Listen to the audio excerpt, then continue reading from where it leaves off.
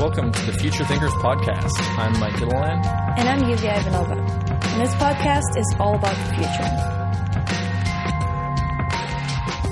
Welcome, guys. So, in the last few episodes, we've talked a lot about technology and artificial intelligence and robotics and that aspect of the future. And in the next few episodes, we want to talk about the humanist aspect of the future. So, what can all of us do as humans to prepare ourselves for the rapidly changing environment that's already happening, but is also going to increase in pace in the near future? What can we do aside from robotic brain enhancements to prepare ourselves for this future? So, in this episode, we Uh, I want to talk to you guys about the future of work, how we envision the future of work. So, today on the podcast, we have two guests, Terry Lin and Jon Myers, and they're both entrepreneurs living and working in Southeast Asia, primarily based right now in Ho Chi Minh City.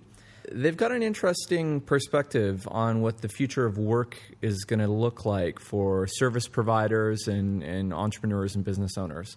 So, we're going to talk to them about our lifestyle and our work life here in Ho Chi Minh City and just kind of get an idea of what they think work is going to look like in the future. So, hope you enjoy this episode and we'll get right to it. This is episode number eight of the Future Thinkers podcast. And today we have two guests, Terry Lin and Jon Myers. We're going to talk today a little bit about the future of work and what it means to be your own boss and sort of the necessity of becoming your own boss in the future. Yeah, why don't you guys just kind of introduce yourselves and tell us a little bit about what you do? Um, again, uh, I'm Jon Myers, and I'm a designer and entrepreneur. I've Been working on startups for a number of years and I'm actually losing my nomad card a little bit. Uh, so we're here in Ho Chi Minh City, Vietnam, and uh, I'm actually getting married, and, and I have a house and a dog. I think by the time this posts, you'll be married, right? Yeah. so, so, uh, but uh, but I have been, I guess, you know, working from the road and working for myself for about 20 years, and so um, I've seen this evolution of the idea of work, of location independence of gathering in hubs like Saigon and, and Chiang Mai and Medellin. And so excited to talk about it and learn, learn more about what Terry and you all have to say. Cool. Uh, my name is Terry, and I just got into this game a little over a year, almost a year ago, actually. Uh, I have two websites. Uh, one's buildmyonlinestore.com. It's an e-commerce podcast, and I also have uh, kind of my own men's accessories business uh, called Baller Leather. So this this lifestyle is not something we've really talked about whatsoever. Business, not very much in this podcast. So the whole idea of a digital nomad is someone who works online. They can be working for someone else, but usually the people we meet are entrepreneurs. They're able to leverage communities and the internet to be completely location independent. And often these guys will travel and be in a new location every three months or so. I think what people would be interested in is what is your lifestyle like and how did you actually make the leap to do what you're doing now? I grew up in countercultural scenes, and so I knew from a really young age that I would be unemployable. That was just, that was just a fact. I, I was uh, very, um, I guess, anti authority and, and didn't like the idea of having a job or being told what to do. And so entrepreneurship was something natural for me to explore. Uh, so I got involved in college in entrepreneurship, started my first businesses where I was doing import export, and it just kept snowballing. And when I was younger, I took my first trip. It's now been over 20 years ago uh, to Taipei, Taiwan, and I taught English there. And I kept thinking, how do I just keep this going? And so I just kept exploring entrepreneurship, and I started a lot of businesses that failed. And in the meantime, I started acquiring a skill set which is that of a designer. So I functioned as a interface designer, web designer, designer of you name it. And that skill has just snowballed and became this thing that's really a huge part of my life now. What about you, Terry? Yeah, so me, uh, kind of grew up in Asia and the U.S. back and forth, and I always had the mindset that you go to school, get a job, go to a nice job, and retire was the path. Until about three years ago, when I kind of had a revelation that um, you know working at a large bank wasn't really the most happiest thing in life and then i think around that time you started hearing about like people making a living online uh, either selling products uh, doing design work like what Jon does or kind of media editing, like what you guys do, kind of multimedia stuff. And then I realized at some point, you know, you can dick around, read blogs, listen to podcasts, but at some point you just have to leave. And then uh, last year, around August, I made that leap. So it's pretty much in a nutshell. So, Jon, you're you're telling the story of the Earth on Fire, and you're kind of capturing what you see here. Why don't you tell us a bit about that? The Earth on Fire. So, the Earth on Fire um, is describing what I see as the sort of burning of the old scripts of what we're supposed to be doing. Like Terry was saying, you know, you go to school, you go into debt, uh, you get a job to service that debt, you get married to double your debt and consume more and buy a house, and then you just kind of hang out and retire.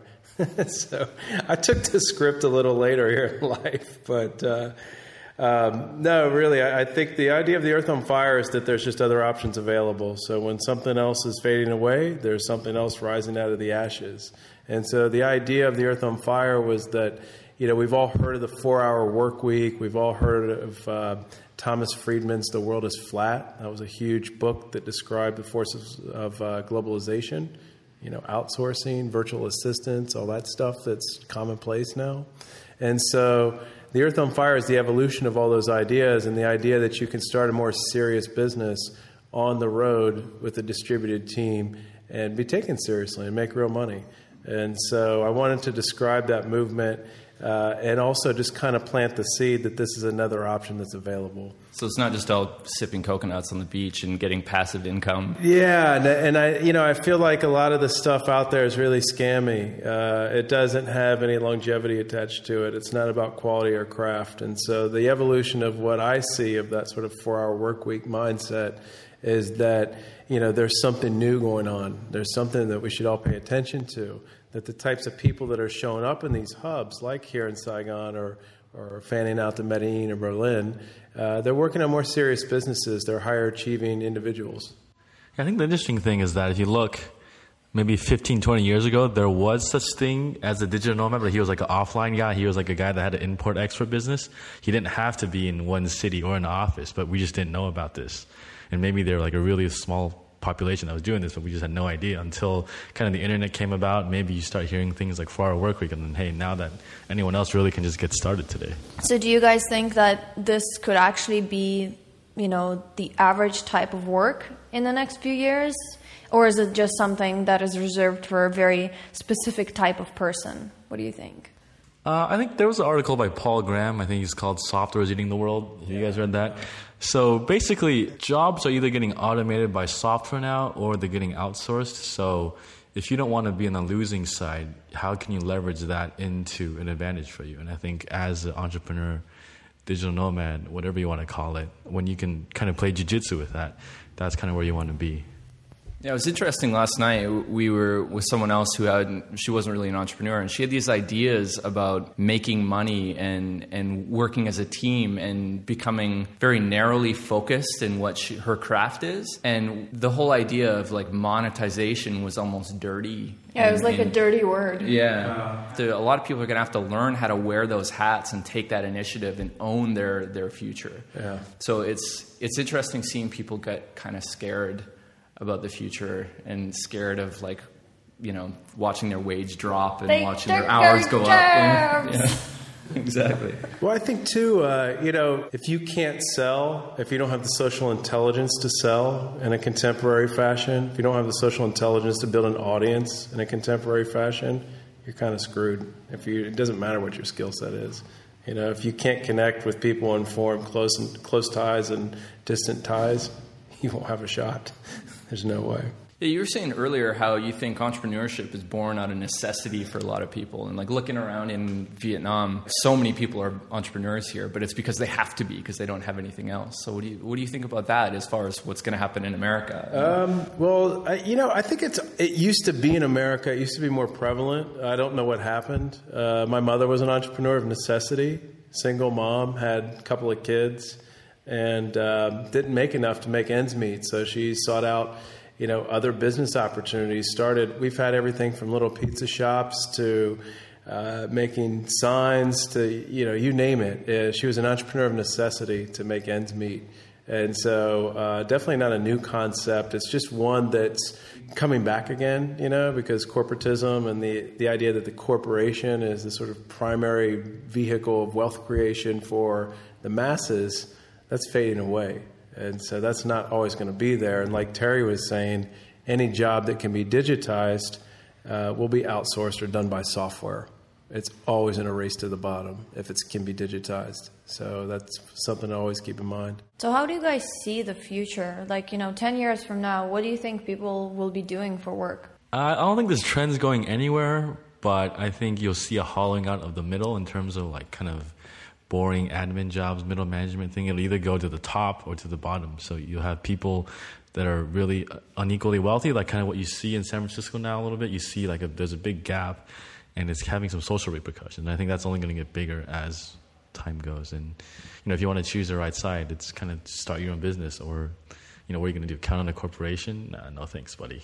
You know, we kind of see the world as a world of abundance, and a lot of them kind of look at it like all the jobs are disappearing, everything's going away. There's less and less available. I'm not trained to be a knowledge worker, so well, well say for example, next? say a big company has a new software that makes their HR more efficient or their accounting. Well, then you don't need that many accountants. You, you just have part-time jobs now, and you see temp agencies their hiring is going through the roof. So, well, once the software is replaced, you're not going to suddenly remove it and hire ten more people to do what the software did. It's just going to keep getting worse and worse. Well, and the thing is, you as an individual. So you're talking about how we all see opportunities so your brain and sense of curiosity is a muscle. It's just like going to the gym. So if you're not training that muscle, if you're sitting there in a job, then that muscle is in a state of atrophy. And so once the rug does get pulled out from under you, which will be inevitable, then you're you know you're out there with a big flabby brain muscle that just can't react. So it's a lot better to start training your mind now to have a ferocious sense of curiosity and be scanning for those opportunities all the time because they're always out there. Before you get there, the first step is to take ownership of your own life, whether it's yeah. your finances, uh, bad relationships, things like that, because that's when you realize that hey, I can actually change things in my life before you tackle like building a business. Because I think there's these little things you need to take care of first, uh, kind of in your own yeah, head. Personal financial responsibility is huge. Yeah, like being able to learn things, or if you don't know something, you know, figure out how to learn it, have that kind of thirst for something, mm. things like that that seems to be the key thing is that we all just consume in books like our lives depend on it. But that's something i see missing all the time back home. Like hey what are you reading lately? That's, a, that's an easy question usually it's book. nothing. Nothing it's like, well, okay, what's YouTube? Yeah, I'm reading cat videos. yeah, so, so just to give everyone an idea, what podcasts or audiobooks you guys have in your arsenal right now? Like, what you listen to in the past? I, I mean, I started off pretty pretty heavily in like self development because there's I viewed myself as the tool to do all the things I wanted to do. So I might as well work on myself first, figure out how to argue better if I need to, or how to talk to people better, how to like people, how to be effective in communication. So there's lots of books like How to Win Friends and Influence People, Nonviolent Communication. Yeah, yeah that one we read quite recently. It was really, really good. Mm-hmm. And there's a lot of books, you know, Four Hour Work Week was a huge thing to get me to to take the leap to come to Asia. Yeah, I, w- I would also say read as much about psychology as you possibly can. Mm-hmm. So the best primer on psychology, I think, is Influence by Robert Cialdini, which breaks down in a very sort of uh, everyman's way um, the the idea of influence, what influences people. It's a huge book. I like Malcolm Gladwell because he takes complicated ideas in psychology and kind of puts it down to like a regular trucker level, yeah. you know? Yeah, he really does. Those are those are good books to kind of train your mindset.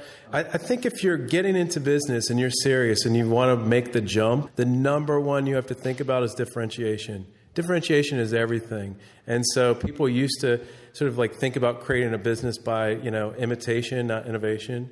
And so the best book you can read to learn how to differentiate, it's a bit complicated, but if you can get through it, it's Blue Ocean Strategy. That book's been around forever now. And essentially, it's a book about differentiation where you create the market for a product or service that you have in mind. You don't try to grab existing market share. And I think differentiation is a huge factor in business.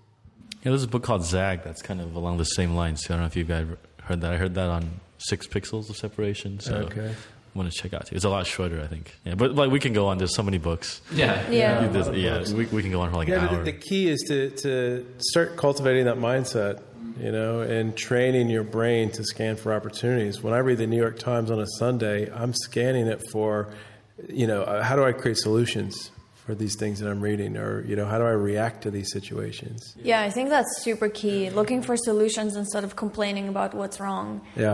Uh, we were actually talking about that last night as well. That so many people, you know, complain. They're like, "Oh, the government's not taking care of us. Yeah. You know, they're taking away our benefits at work. They're taking away our jobs." People just what you were why, saying, why don't you take care of yourself, right? Just, Yeah. just say, hey, and I I'm- think the number one thing, this is what I wanted to say stop making fucking excuses. Just stop it. Don't make another fucking excuse. If you're really serious about taking care of yourself, stop the excuses. Everybody has problems. Check them at the door. Check your ego at the door and admit you don't know shit. I still don't know shit. And start to feed your brain and be active. You know, like your education doesn't stop at 21 when you exit the college doors. It's a lifelong thing if you want to survive in this game. So you have to check that ego at the door and admit you don't know shit. Yeah, and if you don't know anything, you could just go to Google. There's some book that has about it now, unless you're trying to do like quantum physics and There's black lots of holes or books about quantum There's that, that too, yeah. But, but if you want to like invent math, that's a whole different level, right? But like, everything basic that you don't know now, you can find it online. So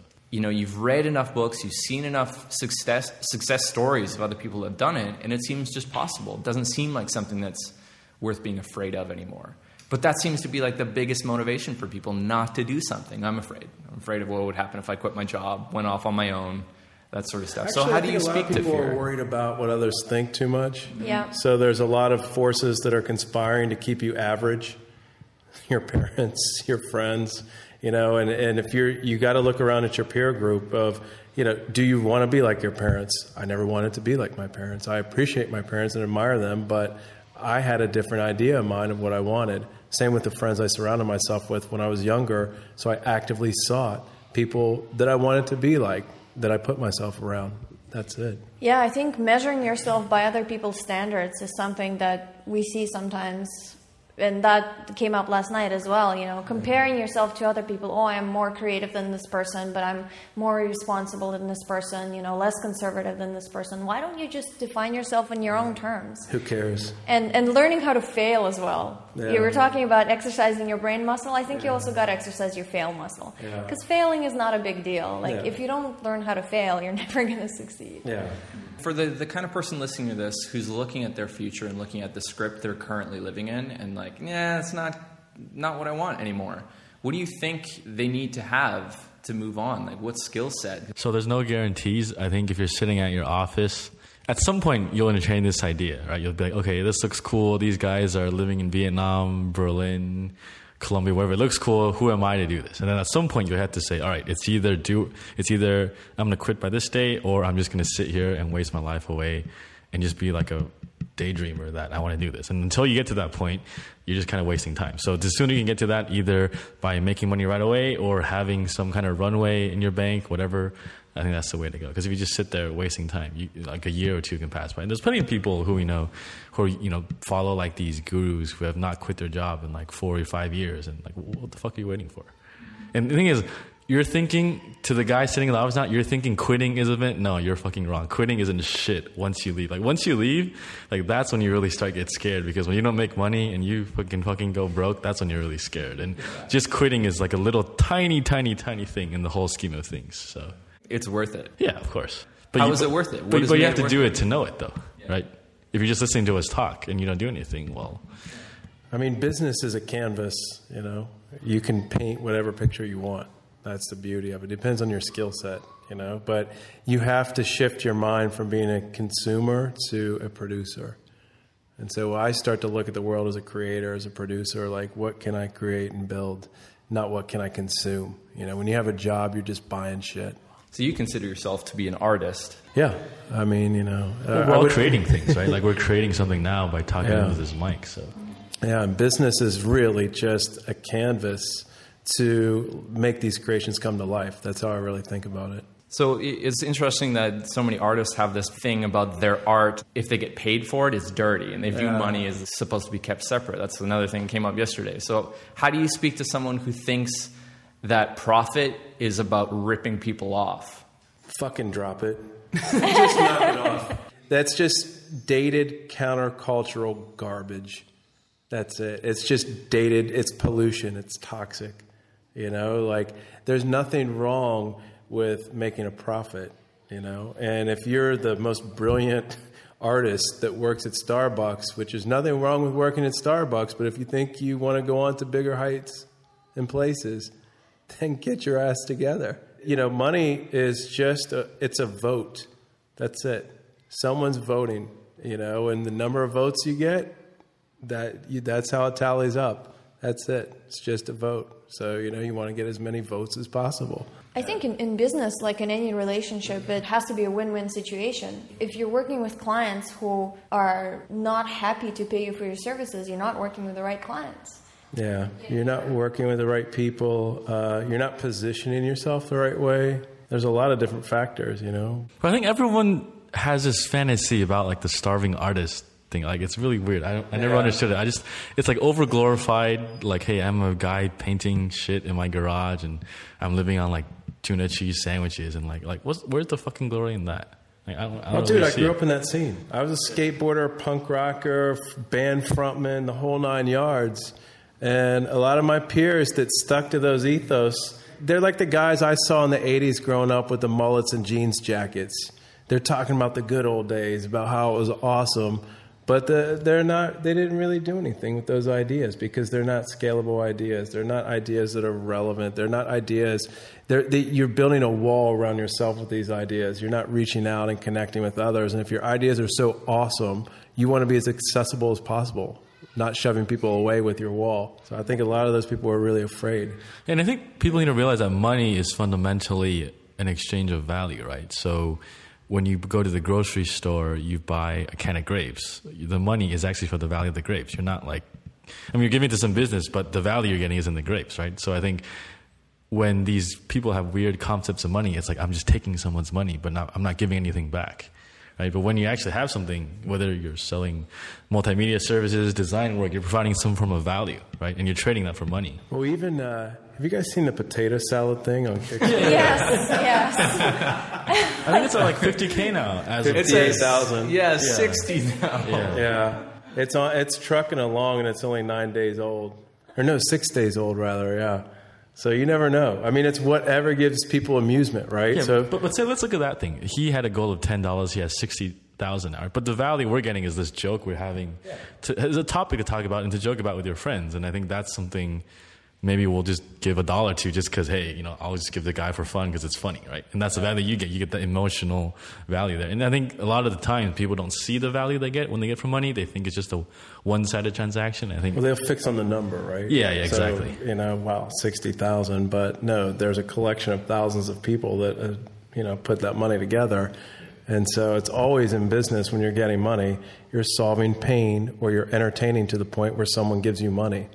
That's it. So enough people found that entertaining enough to give that guy a couple bucks. yeah, I would say this is assuming you're doing something legit. You're not like Or involved in deception. Yeah, or involve deceptions like Or crazy drugs or anything, labor. or slave labor. Yeah, prostitution. Or like, yeah, we're not talking about. We're talking about like legit businesses that offer legit value. The internet is causing a lot of light to be shone on those types of businesses, and it's almost becoming more difficult to do the shitty quick money thing than it is to actually just make a real business and do the right thing. You know, provide real value. Like I struggled way more when I was just trying to sell something that I wanted to sell and not create a valuable product that people wanted. They like beat my door down to, to buy. So what's funny is that when you read about that, it sounds so easy until you actually start calling people and like you get in your face. You're like, wow, like is this something wrong with my product or something wrong with my marketing? Or you're just like, ah, like fuck it, what the fuck am I doing wrong? Well, I think that's actually I'm going to like circle back because the, the topic of this is the future of work, right? So you know, you're talking about uh, starting a business, or, or we're talking about our craft that sort of uh, catapults us into a business. So, it, first of all, the first thing you have to, to stop saying is the word career. Erase that from your vocabulary. Don't ever say that again. Like, in, like, don't ever do a resume again. That stuff is stupid. Uh, you know, your life is a body of projects that are successive. And so you should be constantly focused on getting to higher and higher places. You know, so it's not about, you know, that one that one job or that one thing. It's a it's a series of successions, you know. And so I I've been really fortunate to have these successive uh, projects, you know, and they just kind of keep snowballing, and you have to trust the force. You don't know where they're going to come from, But when you're starting out, you've got to think of it as this progressive thing. I think that's really important. I think also just having a belief in what you're doing that you're going to do it regardless. You're going to be doing it for a long time. So you're building this body of work. Like I can't count how many times I got discouraged when I was just starting out and then switched and did something else. And I could have continued building this body of work and I didn't. I ended up having to start over again each time. Well, you know, I think it's okay to quit stuff. You know, you have to no one to fold them, no one to hold them. but, yeah. uh, you know, like I, I, wasn't a great guitar player, but I liked playing guitars and playing in bands. I'm kind of glad I quit that. Went on to entrepreneurship. Um, you know, so uh, you got to just kind of know yourself well. What do you want to live with for the rest of your life? Yeah, there'll be some things you're good at, some things you won't, and you just have to live with that and focus on what you're good at. Yeah, I think that's that's another thing that some people get stuck on. They feel like they they have to sacrifice something. Yeah. Like they either have to do what they love or they have to make money. Yeah. Like they can't do both at the same time. Yeah. And that's just a, such a silly and limiting belief because it's not true. It usually requires like a reorientation of thinking, you know, like there's a niche for everything out there. Just kind of shaking it down and figuring out, you know, who's got the money to pay, who's got the willingness to pay. And also being open you know? Like i've worked on projects that involve dna analysis you know visualizing big networks to consumer internet companies to whatever. And there's kind of like a there's a thread that runs through all those things which is about like the space to execute against my craft to be to do excellent design you know like i work with people that get that so it doesn't matter what vertical i'm in i get pleasure out of working in all those things Today we just heard about this. Uh, there's a website called Clown Dating or something like that. so you know, clearly somebody saw a need yeah, and created something.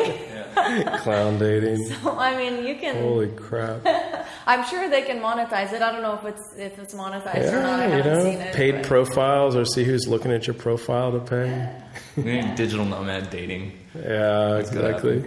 Will robots take over jobs in the future? So old. They are. Uh, yes. I think There's so. No yeah. question.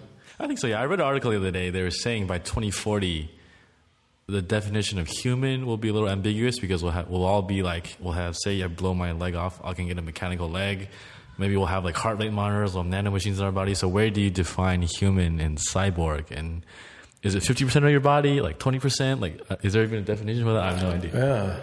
But I think robots will take over manufacturing just because of economics. You know, so uh, you know, there's a there's a race to drive those types of tasks to a, a, net zero cost, right? You know, where it doesn't cost, you know, where it's just like copying a MP3 file on the internet, you know, where there's almost like a net zero cost. It's a material cost. And so I think that race is inevitable. You know, I think it's going to go down. There's no question. I think, like Terry said, it's just what's the timeline look like? But you know, if, if you're out there and you're listening to this podcast, your brain is probably in a different place. You know, you want to tell the robots what to do. You don't want to be told by the robots what to do. And or maybe so, you want to be a robot. Or maybe you want to be a robot. Yeah, that's a that's a, a definitely a thing. Yeah, there's no question. Yeah, it'd be like, how can you leverage robots to have a lifestyle that you want or to provide value as a business, right? Instead of being like, oh, the robots are taking my jobs. Like, what am I going to do? Get a neural implant. yeah, exactly. Become better. Yeah. What I, I think it's funny, like this this idea that something is destroying jobs has been out there. I grew up with that because you know I grew up uh, you know the Midwest and uh, on the East Coast, so like that sort of like pro American. Uh, you know, the Japanese are taking our jobs. They were the villains in the '80s when I was growing up. Yeah, it's not like a zero sum. It's more like it's shifting, right? Because you look at the music industry, they try to fight against MP3s for their life, but now they're finding like, all right, we can't do anything. But then all the music money has shifted to like live shows and like concerts. So a guy that's running stages probably has a great business for the past ten years, whereas yeah. a guy that was you know a radio DJ and you know in Idaho is probably you know not doing anything. But then on the other side, you can have a podcast, right? Like now, what we're doing, anyone in the world can listen to this now. So there's always winners and losers you just want to have that mindset to be, like, hey, I, I can actually make the jump. I can't. I don't have to just sit here in Loserville. I can actually wiggle my way, figure out a way to get into the other side. Well, I also think too, like the the way to look at the world, it's not static. And so a lot of people also look at past performance as a predictor of future results. That's not accurate.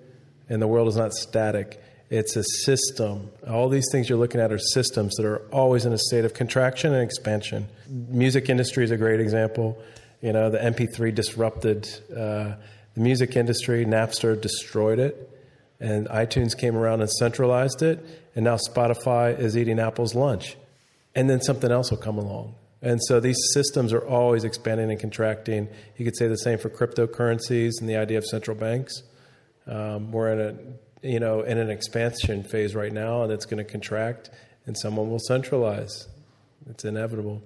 All right, guys. Thanks for joining us on the podcast today. It was awesome to have you. All right, thanks, guys. Cool. Thanks for having us.